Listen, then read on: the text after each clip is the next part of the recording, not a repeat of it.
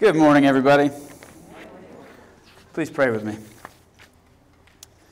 Father, we give you thanks for this time to be together with your people and to hear from your word. And so we ask, Lord Jesus, that you would help us just as you promised to do. And we ask this in your mighty name. Amen. You might have heard of uh, Howard Thurman, civil rights leader, author, theologian. Tells the story of when he was a boy, he would read to his grandmother, who, having been a slave, could neither read nor write. Two or three times a week, he says, I read the Bible aloud to her. And he continues, I was deeply impressed by the fact she was the most particular about her choice of Scripture.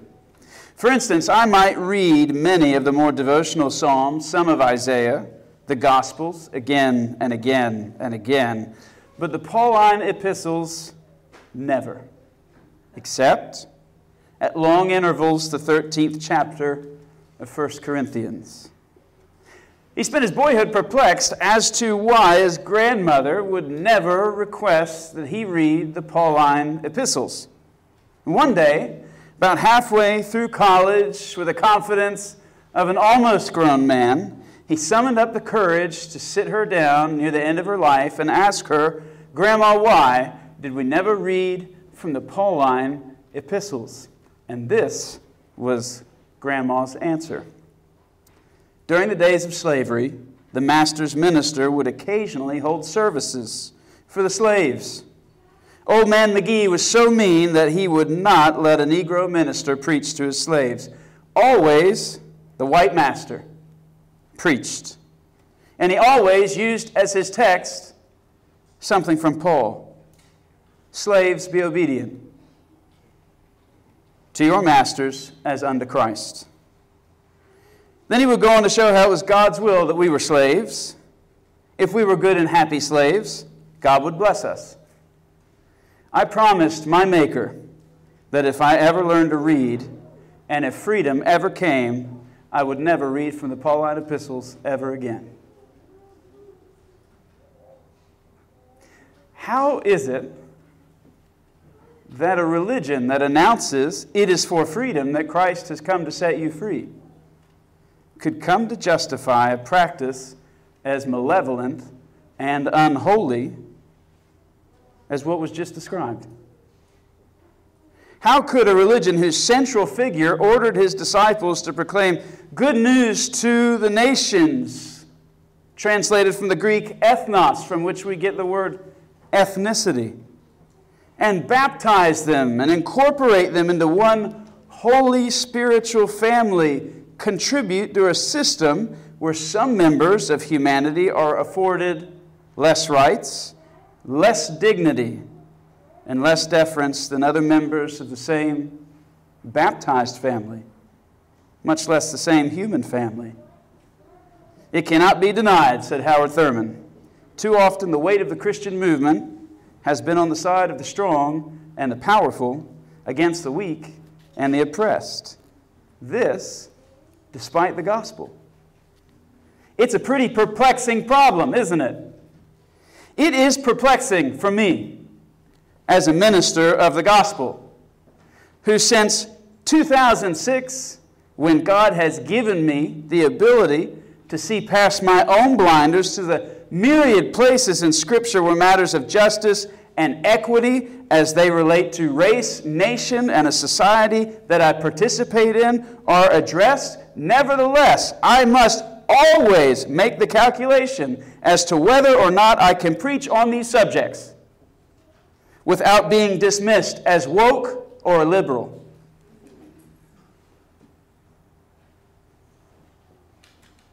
It's a perplexing problem for the people in the pew who must either learn how to explain away such scriptures as if they had an asterisk behind them like the home run records for those on steroids. These don't really count.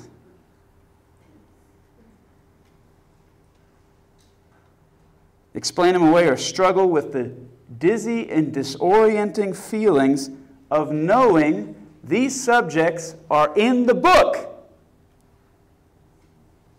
but for some reason are not prioritized by the ministers of the church or the people of God. It is a perplexing problem for those being crushed under the strong gears of the dominant and the powerful, who are forced to ask whether or not there are two Christs and two Bibles one for the rich and one for the poor, one for the mighty and one for the weak, one Christ to justify the one and comfort the other.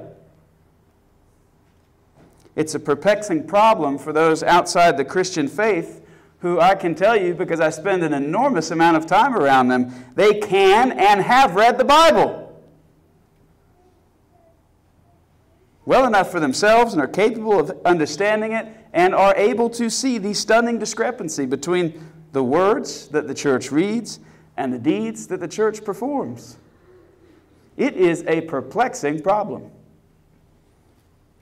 How are such problems to be resolved?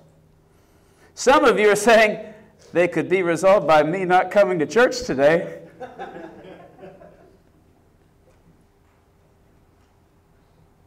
They can also be resolved by you emailing Ham and say, don't have him back. If God's people find themselves lost and confused, we have a word from God that the psalmist teaches is a lamp for our feet and a light for our path. And the scripture that we have today does not speak to the totality of the perplexing problem, but it does speak to some of it. And if you'd like to follow along, I'd invite you to Deuteronomy chapter 10 is where I am. Be starting at chapter 12. Now, Israel, what does the Lord your God ask of you but to fear the Lord your God, to walk in obedience to him, to love him, to serve him with all your heart, with all your soul, to observe the Lord's commands and decrees I'm giving you today for your own good. To the Lord your God belongs the heavens, even the highest heavens, the earth, and everything in it. Yet the Lord set his affection on your ancestors and loved them. And he chose you, their descendants, above all the nations, as it is today.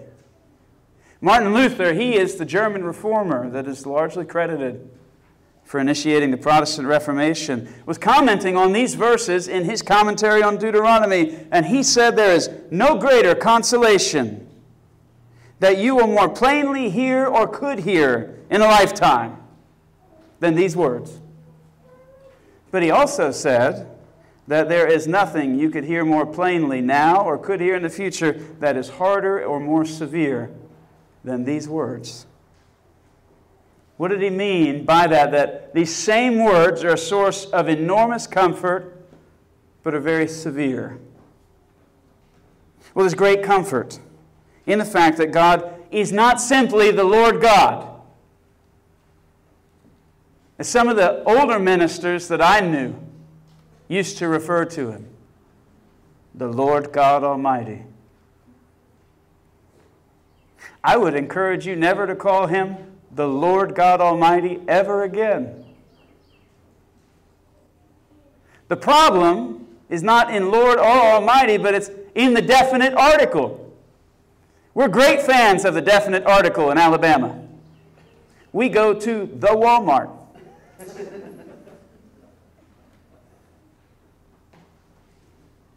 Luther said most Christians have a personal pronoun problem. It's not the Lord God Almighty, it's yours, Lord God Almighty. Your Lord God Almighty. We spend an awful lot of time reflecting on the fact that we belong to God, and that's absolutely true.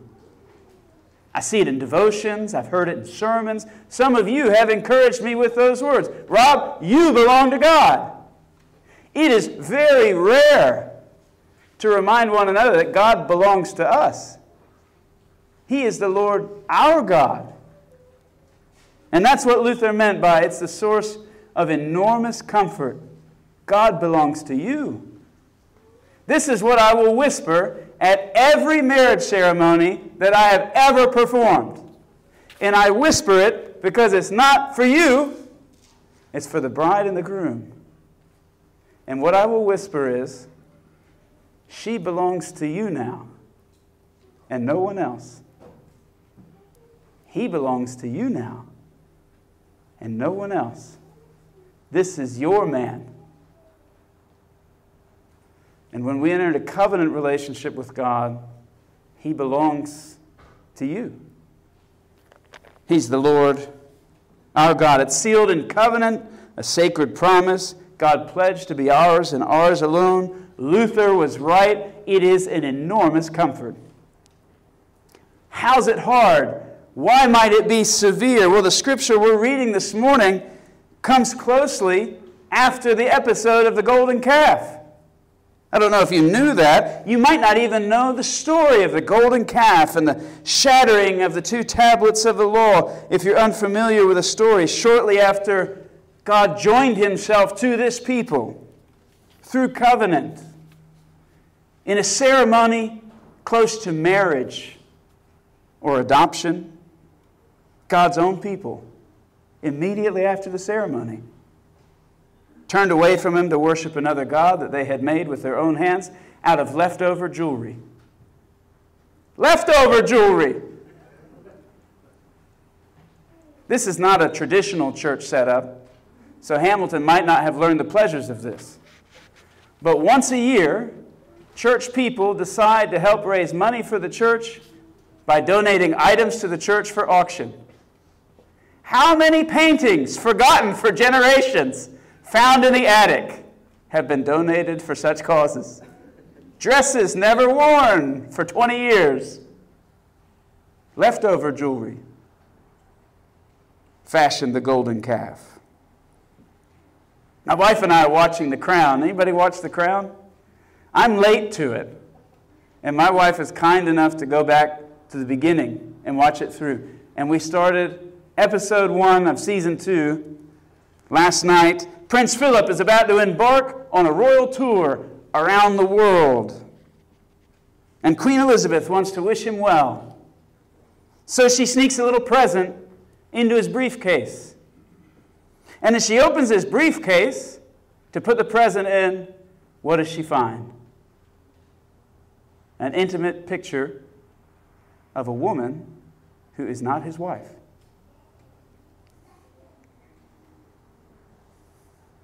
she replaces it with a note. And the note was Remember, you have a family. That kind of note would give me an enormous amount of comfort. But it would not give an enormous amount of comfort to Prince Philip. The reason such words can be comforting and severe is because they speak to the faithfulness of the recipient.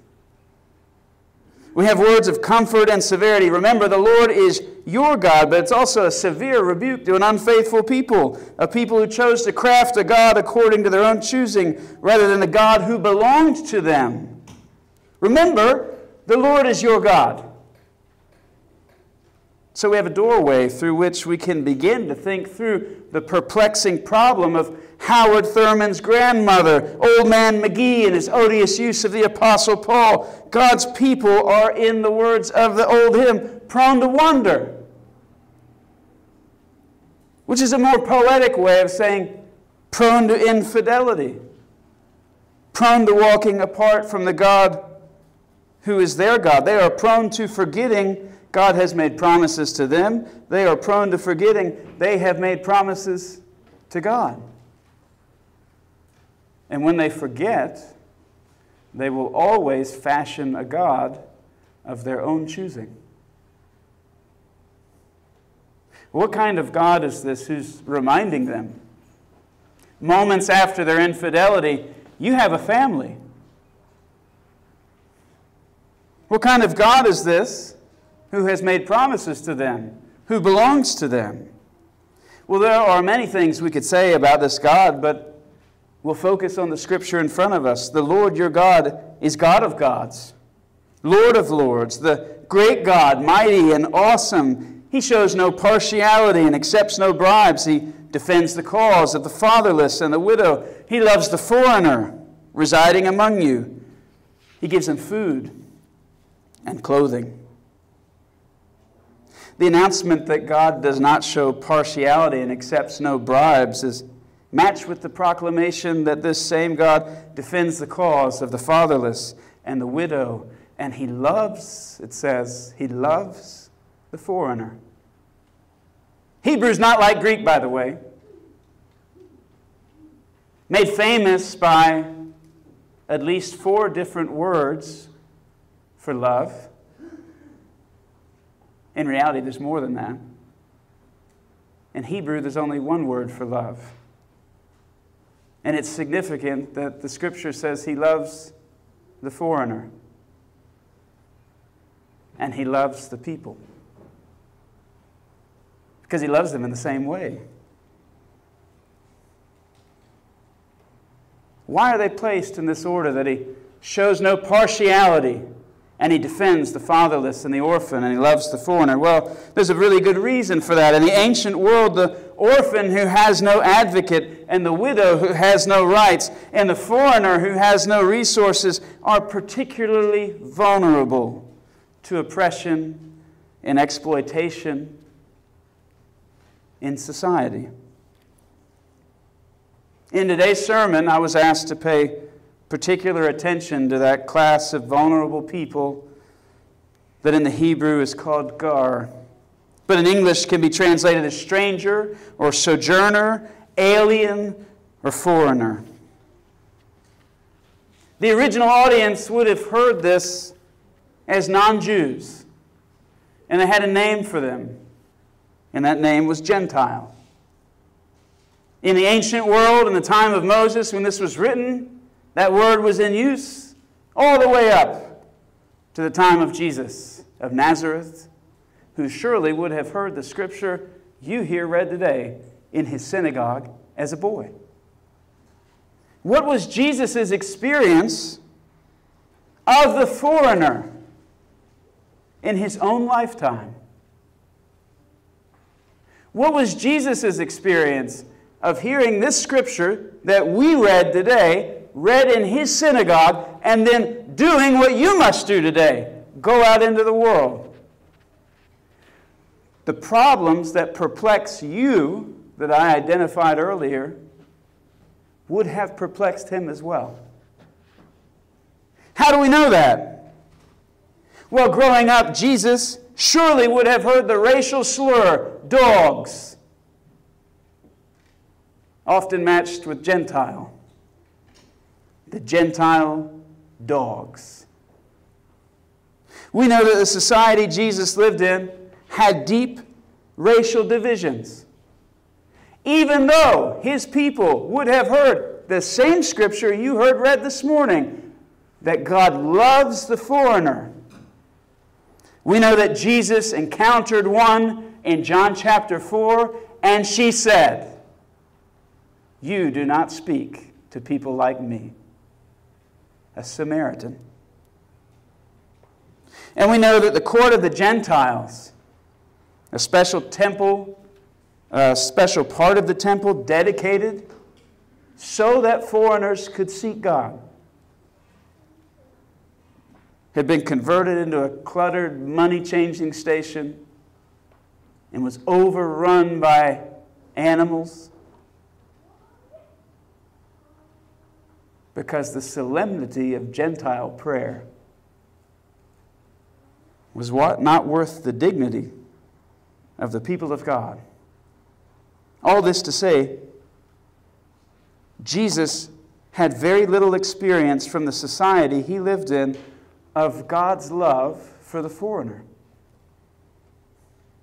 In other words, Jesus had personal experience of the same perplexing problem that you and I have been speaking of. What is the perplexing problem? The perplexing problem is that, given time, people seem to be prone to leaving the God that belongs to them and creating a different one that they prefer.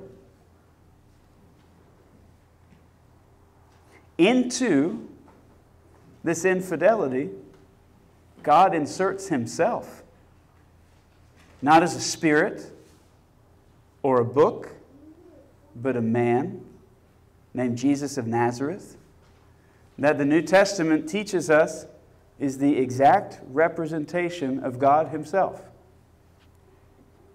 The exact representation of God Himself. How do we know how God would treat the widow? How does Jesus treat the widow? How do we know how God would treat the orphan? How does Jesus treat the orphan? How do we know how God would treat the Samaritan or the Gentile dog? How did Jesus treat them? Because he is the exact image and representation of the Father. He identifies with them so closely that by the end of his life, he's considered one of them. There's a variety of ways you could take what I just said, but let me put it to you like this Jesus is killed outside of the gates because he has so identified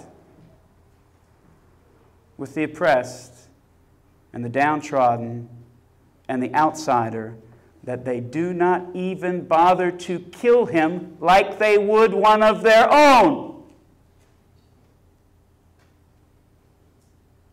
Jesus dies outside the gate.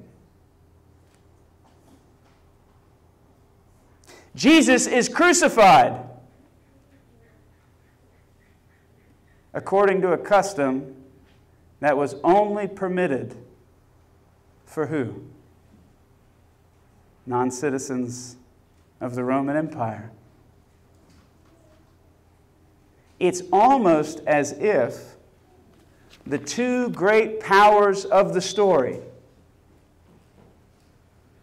the Israelites and the Roman Empire, joined together to make a decision this man is not one of us.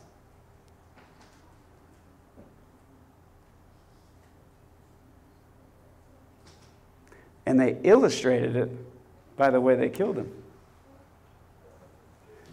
So Jesus dies as a foreigner, he dies as an outsider, he dies as the vulnerable and the weak. He is one of the people crushed under the gears of society.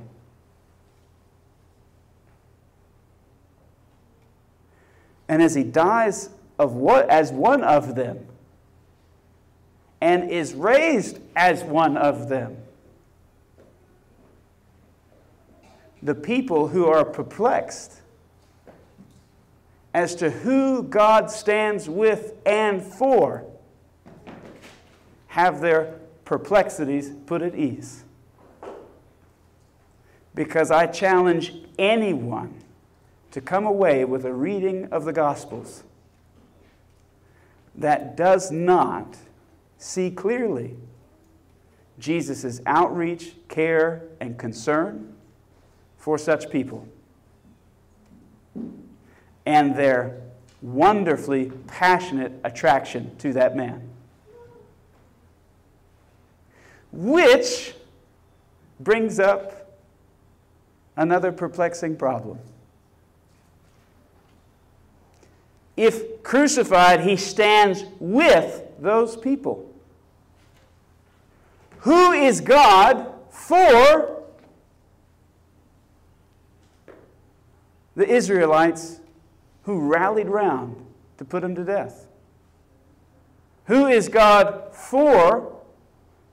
If he's for them, who is he to the Roman Empire that had him nailed to a tree? We can make it more personal. If God stands as vulnerable and weak and cast aside if he stands with them. Who is he? For a white, upper middle class Anglican priest, who, by the way, is doing pretty fine. Well, I'll tell you who he is to them and to me. He is wed to an unfaithful people and to an unfaithful man. And of the many things the cross is, the cross is God's excruciating commitment to stay married to an unfaithful people.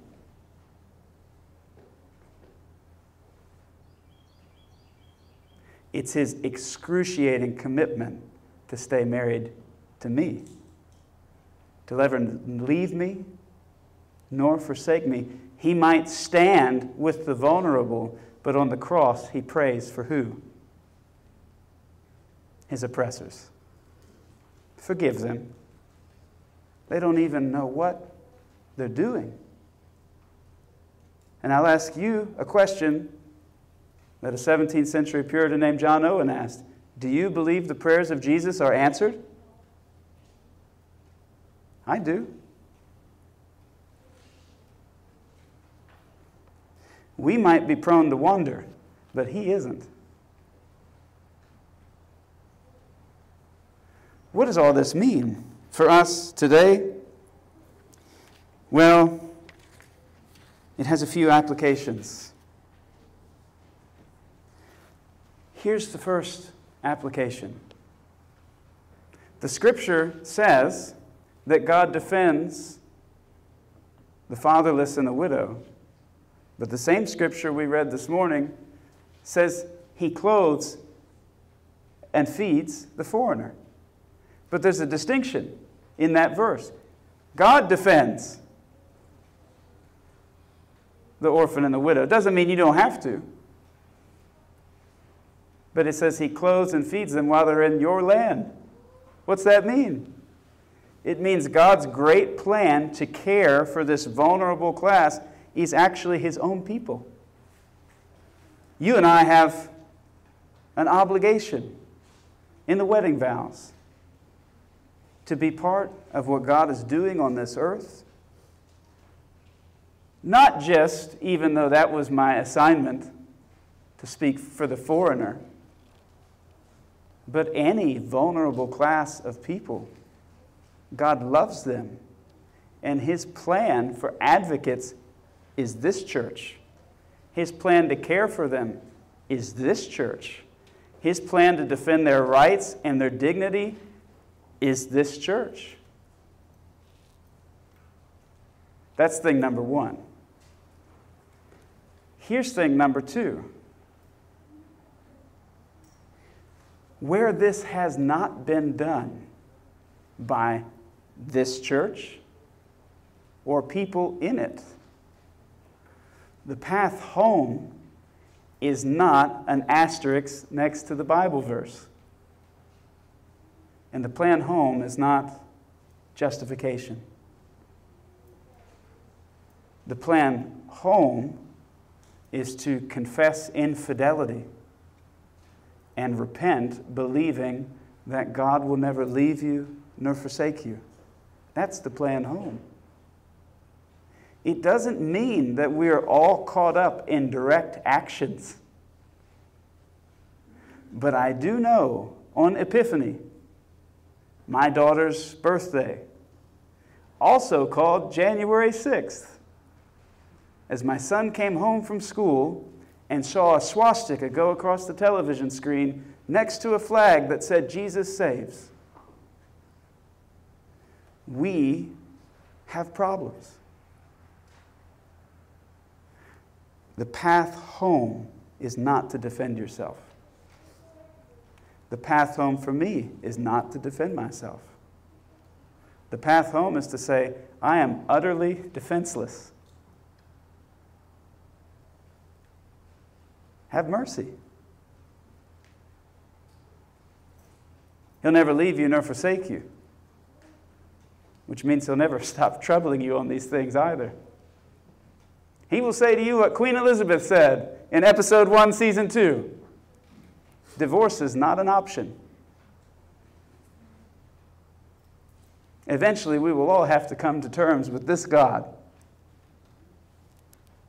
and execute His plans. That last one's tough.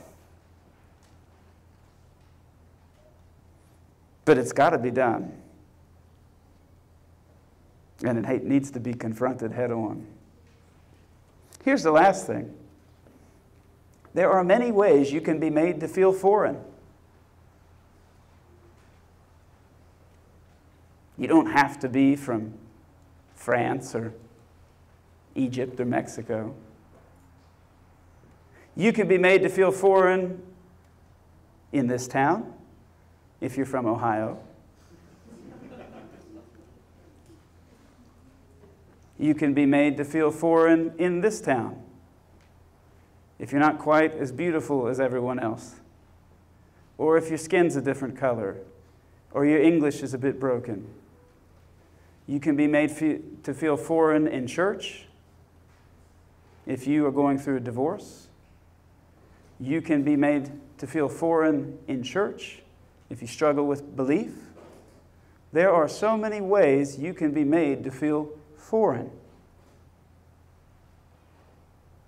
If you have ever been made to feel foreign, I have scripture for you that right now is only comfort and no severity. And it's this God loves the foreigner.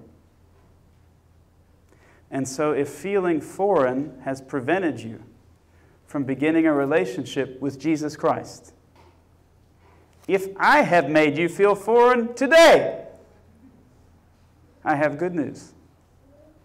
God loves you and wants to be in covenant relationship with you. And you can begin that relationship today simply by saying, Come, Lord Jesus. I'm not entirely sure what it means. I'm not entirely certain what kind of trouble it might get me wrapped up into.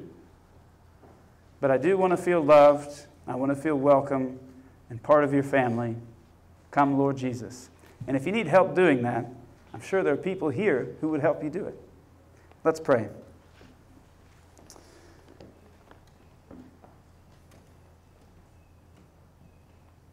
We pray, Jesus, that our many infidelities would not keep us from being reconciled to the man who prayed, Forgive them, they don't know what they're doing. And because we're focusing on these things, I pray, Lord Jesus, that you would help us through the assurance of forgiveness that divorce is not an option we would learn not to defend ourselves, but we would engage wholeheartedly in the work you set before us in these words today. And we ask, Jesus, that if anyone has been made to feel far off, they would know you love them even now. We ask this in the mighty name of Jesus. Amen.